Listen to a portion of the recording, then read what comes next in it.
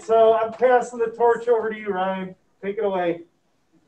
Well, uh, yeah, I mean, I'll give you a brief introduction. A lot of my experiences in helping people develop websites. Um, we work with all kinds of businesses from small to medium to large.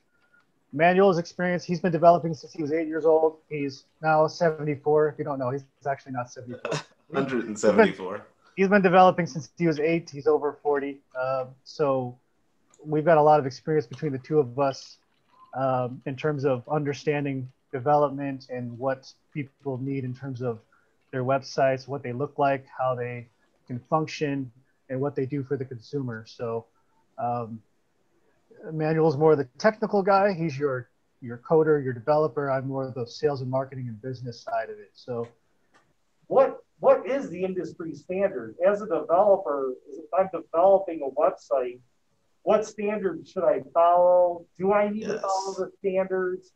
Am I am I doing it because something has been standardized, or am I doing it because it's just what what's been widely adopted by industry?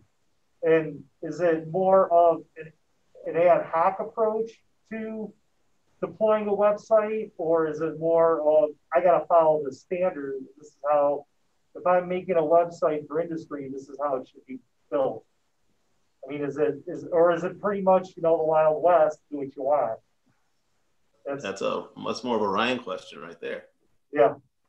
I think um, you know what it comes down to is when it comes down to industry, you know, if you're building a website for a company, you have to build it with the consumer in mind, and you have to you have to build it within the idea of how are they going to want this to function for them, and how is it going to benefit them, and how am I going to, you know, create a user interface that is going to, you know, engage my consumer, sell my products, sell my services, and you know, grow grow this company. So, I think when it comes to industry standards, I think the industry standards are dictated by consumer interactions with technology.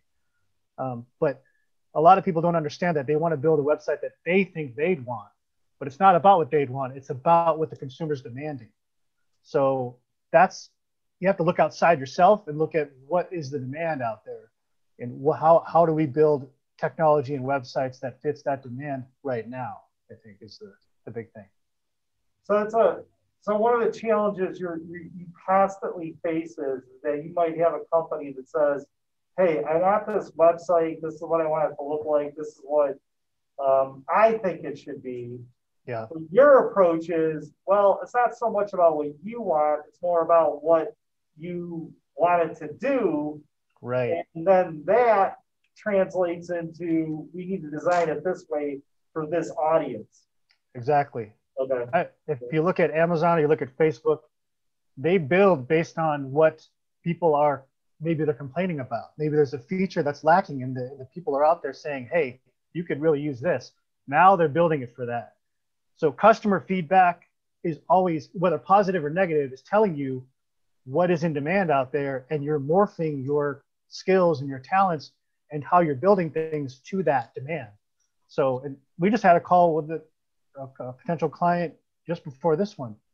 We had the exact same thing. We they weren't even sure how they wanted their site built for their consumer. So we had to talk about that and figure it out. So that's what it really comes down to, I think, at least in my experience. So you need to understand what it is. You have to, when you're designing a website, I mean, we, we discussed all the design processes, right? You know, wireframes, sketch it out, wireframe it. Yes. But even before you start doing that, you have to kind of understand what it is that client is trying to do. And then you got to convince them how to do it the right way based on you know what what what their end goal is. Right. So you don't want to pigeonhole yes. yourself and you don't want to restrict yourself into being one of these web developers that kind of, hey, I've designed a website this way and it worked great for this person and for this company. So I'm going to just do it for everybody. Right? Yes, that's exactly right. That's so Garrett to, nailed it. That's so yeah, annoying when developers do that. To, you have to be able to adapt. You have to be mm-hmm. flexible, and right. you have to really understand not only what it is your client wants, but what their customers are going to want. Exactly. So there's a whole breadth of, you know, I, I, if you got, I would, I would recommend this and that because really web, the web today is, is highly commercialized. You know, it's, yes. Part of it's there for entertainment, but the other part of it is to generate revenue for companies. Right. And very successful business people, at least ones that I know, have some background in psychology. Anybody anybody in Zoom or anybody in the classroom taking any psych courses? No. So I think these guys, their their focus primarily is, you know, the technical side of things. But if you ever decide you want to go into the business side and understand commercialism and all that, it, psych courses definitely can help you in that area. Because you really need to have have an idea of what people want, even if they don't know that they want it. You know, it's, so that's exactly right. Yeah, that's brilliant. A little bit of a guessing game, you know. Well, to layer to layer on that, uh, people buy based on emotions. So we're finding that technology and human emotions are inter- intertwined now. People get on Facebook because they want to fulfill some sort of, you know, they want to go out talk about what they're doing and show show off to their friends or find out. I mean, it's becoming an emotional thing. So when you're developing things, you have to understand that you're developing it for, for human emotion. You know, people buy things based on emotions and needs. Um, so you really have to keep that in mind when you are a developer. As, as weird as it sounds, it's not it's not something you shouldn't think about. It's very true though. True. I buy I buy board games and never play them. Exactly. oh, I gotta super emotional. I gotta have it. It's gotta exactly. be my it's gotta be my collection. right. It's an, emo- it's an emotional thing. People, you want people to consume it. You want to control, not control, but you want to have some um, control out of how it's going to be consumed because there's a purpose behind that consumption. Unlike art, where it's like, I'm going to throw some art up there and everybody's going to interpret it however they want because that's the intent of art. But when it comes to web design and designing a website to be consumed, you have to really think about what is the intent of this consumption? How are they going to consume the content that I'm putting up here? And how can I have it adapt to whatever technology is out there? Whether it's some browser that they're using or some device that they're viewing it on.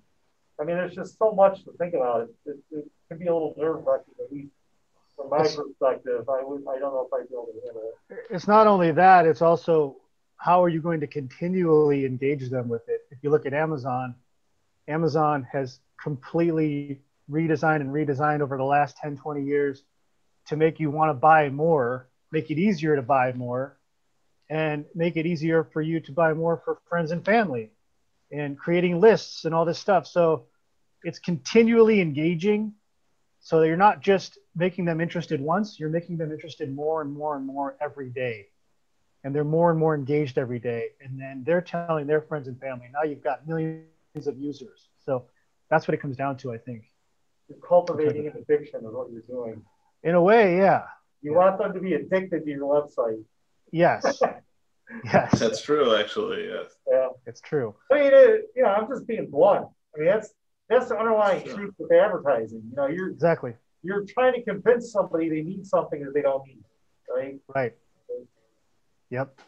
Just like when Amazon recommend recommends other products to you based on stuff you've already bought. Like it's your data they're using. They understand what you bought before, so they're using that data to push more products to you.